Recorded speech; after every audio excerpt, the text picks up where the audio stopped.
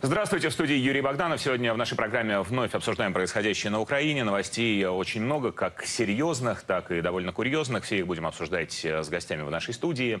А, даже попрошу отвечать на вопросы в таком блиц-формате, потому что времени не так много, а тем, которые стоило и хотелось бы обсудить, э, действительно достаточно. И начнем мы с трагической новости. Пять человек погибли в результате крушения вертолета Ми-8 сухопутных войск Украины во время тренировочного э, полета. А, ну, такое происходит иногда, да, во время учений, маневров. Э, тем не менее, это э, повод, как мне представляется, в том числе и э, поговорить о состоянии вооруженных сил Украины. Вячеслав Николаевич, вам адресую первый вопрос. Как бы вы оценили нынешнее состояние ВСУ? Ну, во-первых, состояние вооруженных сил необходимо связать с общим состоянием политической политики и экономики Украины. То есть, если экономическое состояние летит, так сказать, в бездну, о каком э, состоянии вооруженных сил мы можем вообще судить. Поэтому я думаю, что все остатки бывшей советской оружия, а это западное направление, там, конечно, арсенал был огромный. Использовать это можно очень долго, спекулятивно, но э, мир развивается, вооружение развивается тоже. Это мы видим по нашему ВПК, как, э, какие новые типы вооружений, новые ракеты появляются. Поэтому э, состояние э, украинских вооруженных сил американцы пытаются э, навести порядок, пытаются э, э, доставить им какие-то новые типы, там типа средства противовоздушной обороны, э, ПЗРК, ПТР, э, противотанковые средства и много современных. Но американцы никогда не дадут им самую современную технику, понимая, что это утечка будет. Поэтому я вижу, что туда приходит в основном поддержанная американская техника. Вспомните тот кадр, когда Э, через Одессу американцы привезли бронетранспортеры с окраской откуда? С окраской э, пустынь э, угу. Саудовской Аравии. То есть они участвовали где-то там в, в, в составе американских войск на Ближнем Востоке. Вести в Америку их сложно. Взяли куда? Выбросили в Украину. Катера э, морские, которые американцы, которые вообще, так сказать, списанные. Поэтому говорить о состоянии вооруженных сил Украины, мне кажется, серьезно э, сегодня просто не приходится. Это э, все то, э, что э, э, осталось от бывшего Советского да. Союза. Владимир. Да, но здесь, вот смотрите, нужно э, э, разделить на пропагандистскую картинку, которую выстраивал бывший президент Украины Порошенко, Э, э, в рамках своей избирательной кампании а, Армовир, армия Мова Вира. Э, уже немножко, может быть, это подзабылось, но ведь Петр Алексеевич утверждал, что на Украине сформировалась самая сильная в Европе армия которая будет защищать всю Европу от э, страшной России. И реальность. Вот картинка пропагандистская э, бравая украинская армия. Э, реальность, к сожалению, она совершенно иная, совершенно плачевная. И здесь нужно, опять-таки, э, рассмотреть ее в двух аспектах. А, э, оружие, техника и дух, армия дух солдат. Если рассматривать военно-технический потенциал Украины, то, конечно, нужно понимание того, что действительно проедаются запасы советские, а, разрушены абсолютно э, связи э, кооперации с российским э, оборонно-промышленным Кстати говоря, в том же самом вертолетостроении ведь эти связи были достаточно прочными. Конечно, конечно. И, и, кстати, они были до самого последнего момента, вплоть до Евромайдана и даже в некоторых аспектах уже после него. И вот то, что, э, конечно, Украина получила в наследство от Советского Союза огромный военно-промышленный комплекс, который был интегрирован в состав э, советского ВПК, а сейчас он почти полностью разрушен. А американская помощь, э, американские вооружения, ну, э, это пока серьезно рассматривать не нужно, да и в принципе серьезно рассматривать не нужно, потому что американцам э, конкурент в виде ВПК Украины не нужен. А, а, Украина пока не платежеспособный э, партнер, поэтому э, покупать в больших масштабах, как делает Саудовская Аравия, э, американское оружие Украина не сможет и, наверное, не сможет никогда. Поэтому будет идти вторсырье, ширпотреб. И, наконец, что касается духа. Ведь огромное количество людей, которые уклоняются от э, службы э, в армии. И, в принципе, э, в этом смысле ситуация очень э, плачевная. Вот, да, некоторые повестки да. не получают, как мы знаем, да? Хорошо, разобрались, на самом деле, подождем результатов расследования, почему эта катастрофа произошла и так далее. Э, так сказать, когда будет какая-то конкретика, можно будет там, продолжить этот разговор или, э, может быть, говорить о, о каком-то трагическом стечении обстоятельств. Давайте к политическим процессам перейдем. Александр, э, хочу вам сразу адресовать вопрос по поводу Михаила Саакашвили. Мы э, видели, как он вернулся на Украину, как его встречали. Это э, некий спектакль или действительно Михаила так э, там ждали и э, связывают с ним какие-то надежды? Чем он может вообще заняться? Я бы хотел отметить, что мы видим первые реальные шаги про выполнение программы инаугурационной речи Зеленского. Он попросил всех настоящих украинцев, тех, кто предан стране, является ее частью, пусть и живет за границей, вернуться – вернуться навсегда, он их ждет. И мы видим, что первый украинец все-таки вернулся. Это Михаил Николаевич Саакашвили по стечению обстоятельств. Если без иронии, то, конечно, у него есть определенное количество сторонников, э, которые он обрел за срок своих полномочий в Одесской области. И потом, когда он э, был таким достаточно активным протестным политиком, бегая от э, пограничной службы, бегая от э, других служб. Не очень понятно, правда, как он бегал. У него ведь и его и грузинского гражданства вроде бы лишили, и украинского лишили. Он бегал по Украине, я имею в виду. А, да, Когда но уже, вот как он перемещался дальше да, по миру, не очень. После прорыва из Польши в том числе. Да? Угу. Вот, я думаю, что, э, конечно... Э, его слова о том, что он не будет участвовать в политике, не будет участвовать в выборах и готов стать Зеленским, это есть некая пока проверка ситуации. В каком он статусе сам, он не понимает. Ему э, разрешили вернуться. Зеленский, безусловно, э, опротестовал э, решение Порошенко, которое во многом было в том числе и личным отношением. И для него это знаковое. Да? Это то, та самая реализация запроса на открытость. Да. Но политическое будущее Саакашвили, как и многих других, туманно. И большого политического смысла в этом нет никакого сейчас. Да, Здесь нужно рассматривать краткосрочные эффекты и долгосрочные. В краткосрочном, э, конечно, Саакашвили вернулся под э, кампанию, избирательную кампанию в Верховную Раду.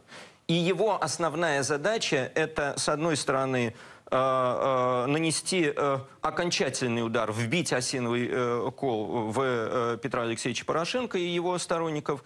Ну, собственно, есть, видимо, и вторая цель – несколько Э, э, так сказать, снизить рейтинг Тимошенко. Скорее всего, Саакашвили будет работать на два направления. Э, он будет работать как такой политический киллер, убивающий политические, политические перспективы Порошенко.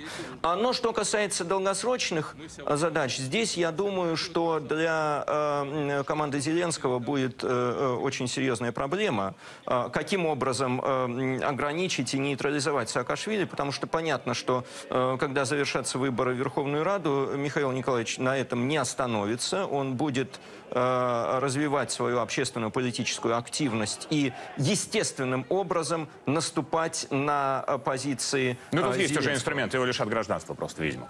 Да, я предполагаю. Вячеслав Николаевич, как вы оцениваете политические перспективы? Можно ли тут говорить о том, что Саакашвили как связан с Коломойским, и Зеленский, возвращая гражданство Саакашвили, выполняет в том числе обязательства, так сказать, перед э, человеком, который, которого считают его куратором? Безусловно, с Коломойским, потому что я согласен с тем, что здесь такой потенциал заложен в Саакашвили. Э, все руки связать э, сторонникам Порошенко и тем сторонникам, которые могут представлять какую-то малейшую угрозу для нынешней власти. Но я думаю, что здесь все-таки рассматривать нынешние процессы на Украине в отрыве от глобальной американской политики было бы неправильно. Потому что э, возникает естественный вопрос. Он что, Саакашвили, самостоятельная фигура? Он что, и передвигается, как говорится, на самолетах, покупая билеты туда-сюда и получает поддержку там Майдана где-то во Львове, в Киеве или э, в Одессе? Э, или это есть чей-то проект, это есть э, та фигура, которую кто-то переставляет с определенными политическими целями. Поэтому если мы будем замыкать наши размышления только на э, внутренних украинских процессах, будет одна картинка.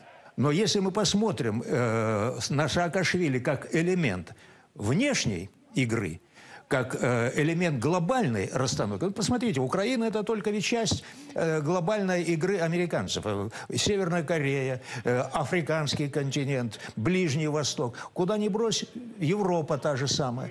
Везде те же самые выборы в Европе, в Европарламент. Американцы везде присутствуют, и всегда они, они ведут глобальную игру. Ну да, это Вопрос один- возникает, один из а где здесь глобальная игра американцев на Украине? И где же, на ваш взгляд? А, Она формирует, э, э, сейчас пытается формировать э, ту систему, которую будет выстраивать Зеленский. Не, ну это... Зеленский и, и, и еще Коломойский. и хоть так предвыборной кампании, да. За, за его спиной. Кстати говоря, да, вот э, к поддержке на выборах того или иного кандидата мы еще вернемся. Порошенко обиделся на Вашингтон, что недостаточно сильно его поддерживали. А, На что ему ответили, мы не поддерживаем людей, мы поддерживаем демократию, что-то из этой серии. Вот.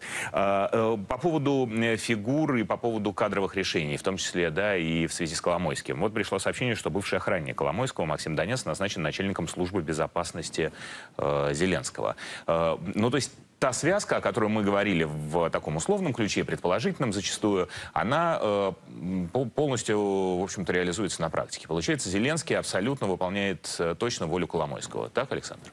Ну, я не думаю, что можно говорить о точном выполнении Ну, смотрите, воли. Это, это юрист, глава, сотрудничество. юрист Коломойского, глава администрации, охранник, э, глава службы Мы безопасности. говорили в том числе и в этой студии много раз, что, во-первых, существует кадровый политический дефицит неконтролируемых фигур. И та же самая фигура Порошенко – это просто пополнение некого актива уже понятной фигуры с понятными вашингтонскими кураторами. Зеленскому откуда, Саакашвили, да, Зеленскому откуда черпать ресурсы, откуда ему черпать людей? Естественно, даже вот сейчас идут разговоры о том, что он э, администрацию будет приносить в здание штаба своего, да, где был штаб. То есть настолько уже он свои процессы связывает с предвыборной кампанией. И, конечно, люди все те же самые. И ближе окружение Коломойского, который Коломойскому им предоставил, в виде юристов, охраны, там, политических нанятых специалистов в том числе, ему брать негде. И поэтому это, на мой взгляд, органичное весьма назначение. Других нет. Ну, я думаю, что ситуация немножко сложнее. Безусловно, Коломойский оказывает э, сейчас э, ключевое воздействие на, э, на Зеленского. И, собственно, это видно и по назначениям, и по тем действиям, которые осуществляет избранный президент. А, И у Коломойского при этом достаточно четкая и понятная идея. Одна часть идеи отмщения Порошенко, она уже близка к полному завершению. А Вторая идея максимизация э, прибыли и своих политических, экономических позиций, она, очевидно, тоже И состоится. Но а, конечно, э, м, я думаю, что не совсем верно считать, что у Зеленского, э, что Зеленский исключительно марионетка Коломойского. Это достаточно сложный э, консорциум, в который входит и тот же самый Аваков. Сейчас он ушел в тень, но, по всей вероятности, он рано или поздно выйдет из этой тени. Нельзя сбрасывать со счетов других олигархов, которые, конечно, будут э, оказывать влияние на фигуру Зеленского, поскольку а, а, украинская власть в любой момент времени это все-таки э, э, компромисс между теми или иными олигархическими кланами. И считать, что Коломойский сможет полностью контролировать ситуацию, я думаю, что это не совсем э, будет верно. Посмотрим, да, насколько этот прогноз э, соответствует действительности. Пока, во всяком случае, как мне представляется, само возвращение Коломойского, э, которое было изначально да, под вопросом э, и произошло фактически в первые дни президентства Зеленского, оно тоже, наверное, да, свидетельствует о том, что влияние это как минимум очень сильно. Давайте перейдем к законотворческой деятельности. Зеленский внес в Верховную Раду закон об импичменте президента. Вячеслав Николаевич, почему это важно? Зачем Зеленскому провести этот законопроект? Его хотят провести наряду с э, законом об отмене депутатской неприкосновенности и о э, незаконном обогащении. Если с двумя последними понятно, то почему закон об импичменте? Почему вокруг него вообще столько сломано копий? Вы понимаете, первое се- сейчас возникает мысль, глядя на э, все э, решения, которые первое решение принимает Зеленский, э, ну, я так ставлю себя на его место. Человек, который всю жизнь занимался, э, так сказать, э, театральным искусством, мягко говоря, э, который э, не имеет никакого опыта государственного управления.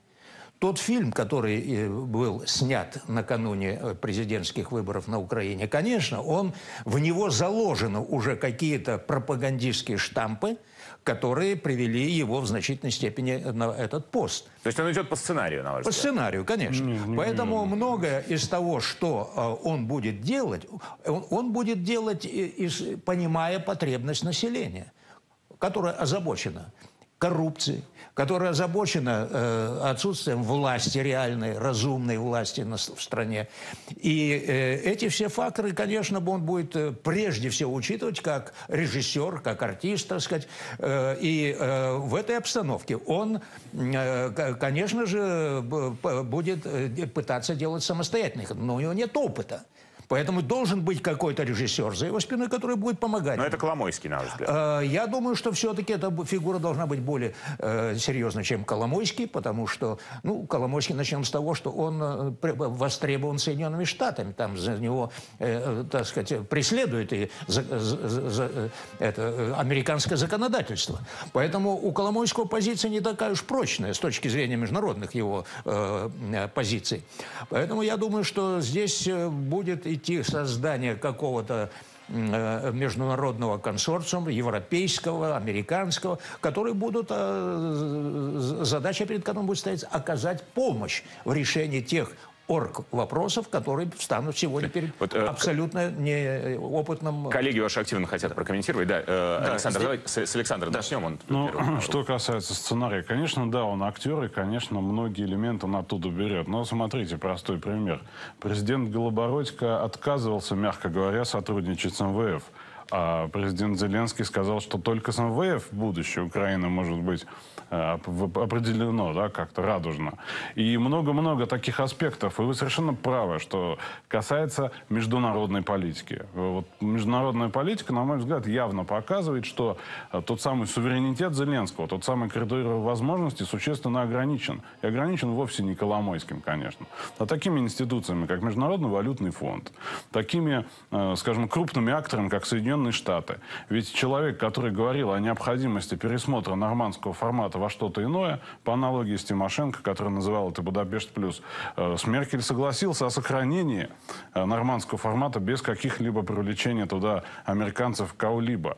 То есть сценарий, он не соответствует, он не может по нему идти, у него нет такой возможности в реальности. Э, У Зеленского достаточно сложная, на самом деле, ситуация, и две аудитории, на которые он должен работать. Одна аудитория – это его электорат, вторая аудитория – это Запад. Э, э, э, что касается электората и что касается Запада, Зеленский, в общем-то, э, по всей вероятности, не может э, в силу ограниченности ресурсов делать какие-то шаги, э, которые э, резко и быстро улучшат э, состояние экономики и социальной сферы Украины. Но что-то делать нужно, нужно делать какие-то вещи, которые будут восприниматься обществом позитивно.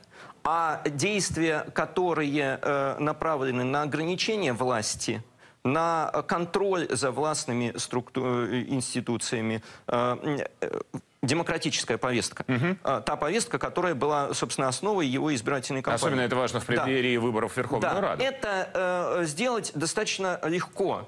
То есть, ну, естественно, проведя закон после того, как Зеленский сможет взять, взять контроль над Верховной Радой. И это даст э, на определенное время ему политические дивиденды. То есть люди будут, э, избиратели будут понимать, что Зеленский э, действительно реализует э, те обещания, которые он Можно давал. ли говорить о том, что он сейчас инициирует эти законопроекты для того, чтобы в преддверии выборов в Верховную Раду набрать политические очки? Естественно, Смотрите, естественно. да, это часть избирательной кампании. неприкосновенности. Это Э, продолжение его избирательной кампании. Он тем самым подтверждает, что те, э, с одной стороны, те лозунги избирательной кампании, которые у него были э, в президентский период, они будут реализованы и в Дум, и в кампании в Верховную Раду, с одной стороны. С другой стороны, это активный фактор давления на будущую Раду и политических оппонентов. А, смотрите, я э, демократ, э, я иду навстречу народу, а вот эти э, мои оппоненты, э, соответственно, это те люди, которые стремятся всячески сохранять свою власть. Почему закон об импичменте, Александр? Ну, потому что это одно из первых его обещаний. Так же, как и такой исторический для Украины закон о снятии депутатской Ну, неприкосновенности. понятно. Его обещали неприкос- все. Депутатская неприкосновенность, понятно, да? И лозунг а закон об импичменте может фактически, да, в при определенном стечении обстоятельств сыграть против него. Обстоятельства должны очень сложно истечься. Я вот позволю себе так вам ответить. Я читал текст, он выложен на сайте Верховной Рады.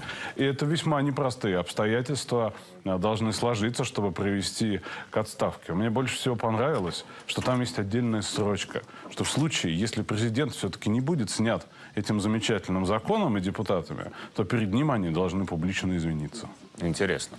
А, Давайте посмотрим еще раз. Вы сказали м, про то, что Зеленский, э, ну, по крайней мере, декларирует некую близость к народу и демократические ценности. Э, Достаточно любопытная история произошла с шаурмой, я так ее назвал, да, эту историю. Я призвал на чиновников есть шаурму, чтобы не отрываться от народа. А, Попрошу выдать цитату э, и дословно приведу его слова. Он в социальных сетях разместил такой призыв. А, Когда у тебя напряженный график, шаурма может быть решением. В этом, как видите, нет ничего страшного, неудобного и тем более постыдного.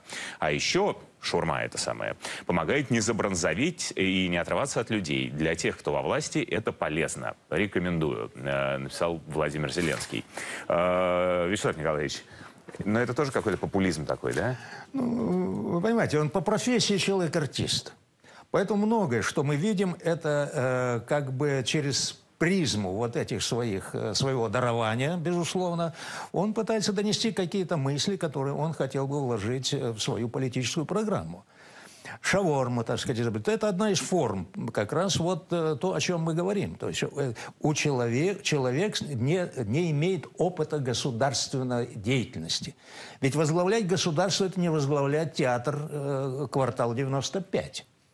Это э, все-таки э, э, круг вопросов, которым, с которым он будет сталкиваться, и который мы сегодня обсуждаем, это только часть тех проблем, которые он будет должен решать. Давайте посмотрим, В том как- числе экономика, Да. в том числе и внутренняя политика, которые э, он, будучи обычным рядовым гражданином, понимая, как это все просматривается э, снизу, он э, не знает, как это должно решаться сегодня. Давайте посмотрим, как вот на, это, на этот призыв Зеленского отреагировали в Совете Федерации. Э, Сенатор Алексей Пушков, э, в свою очередь, тоже э, написал в Твиттере э, такой, такой текст.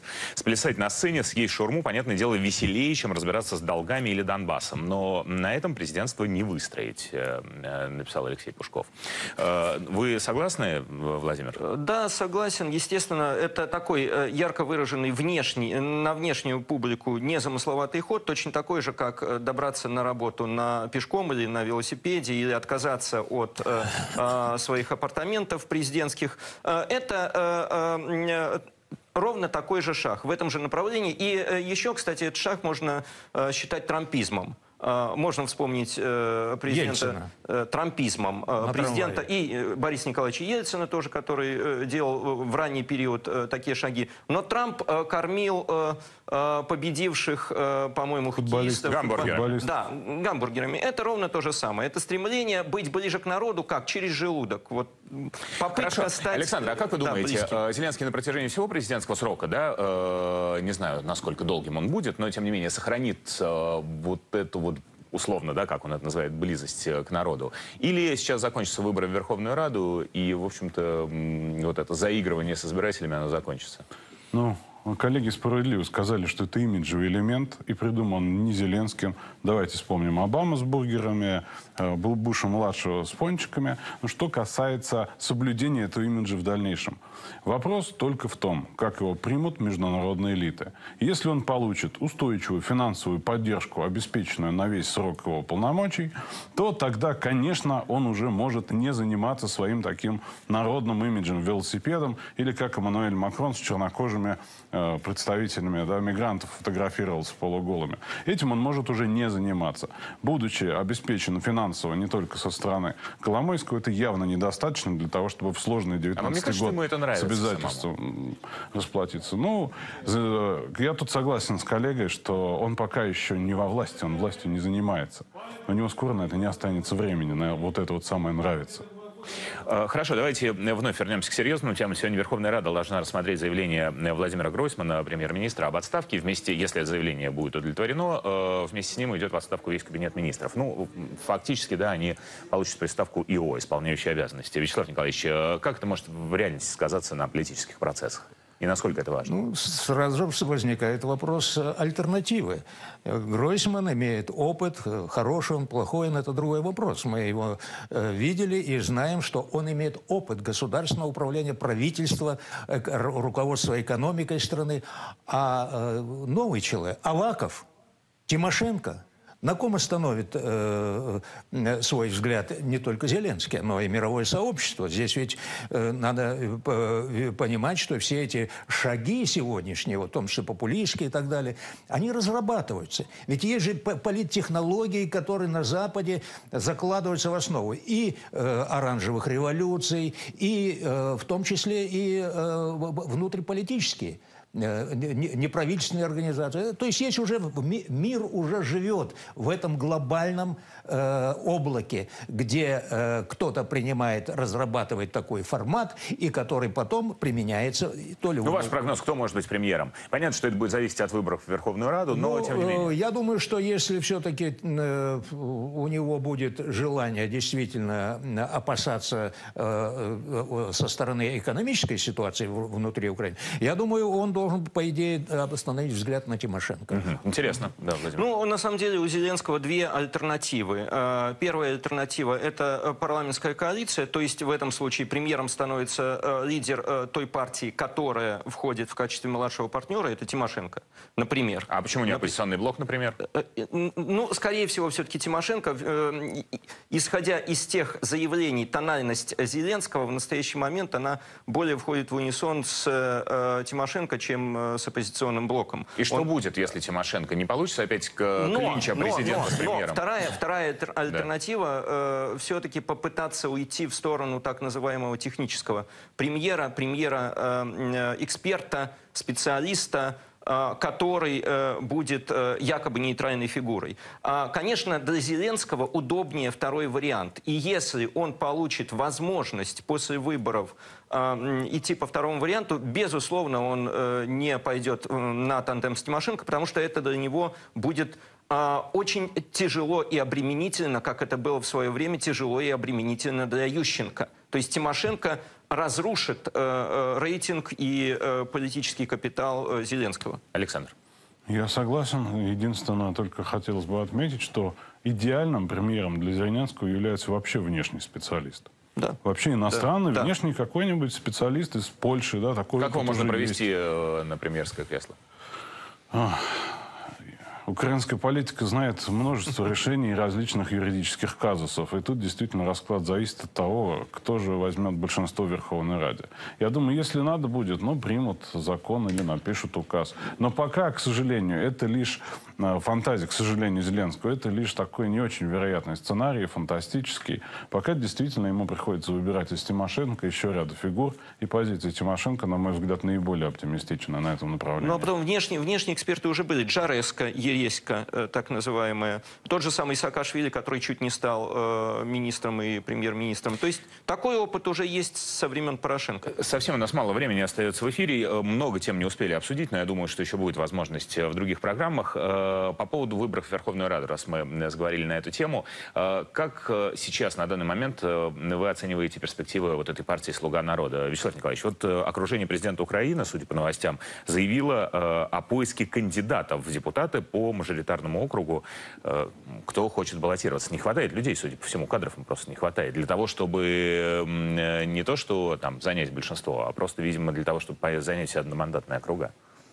Э, мне кажется, что все-таки пойдет по пути э, большей демократизации, потому что в этом интерес, на мой взгляд, должен заключаться для Зеленского, потому что избавиться от э, тех традиционных фигур, которые сегодня бойкотируют его, которые сегодня выступают в Верховной Раде как сила оппозиционная избранному президенту. Я думаю, перетряхнуть всю эту выборную систему, это будет одна Очень из... мало времени осталось. Есть ли потенциал? Партия «Слуга народа» все-таки это пока не некий фантом такой, как мне Ну, представляется? вы знаете, он был фантом, но если э, в, это, в идею этого фантома э, будут заложены жизненные принципы, они могут бы Достаточно быть быстро реализованы. Не забывайте об опыте Макрона, да, собственно, и Порошенко. Макрон создавал партию после того, как стал президентом с нуля. Да. И эта партия выступила достаточно успешно. А кто в ней?